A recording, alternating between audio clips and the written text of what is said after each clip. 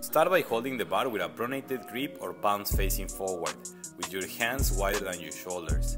Depress your scapula, point your elbows forward and engage your core.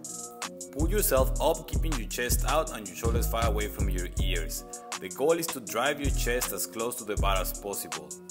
Briefly stop at the top and go down slow and controlled, making sure your shoulders are still down.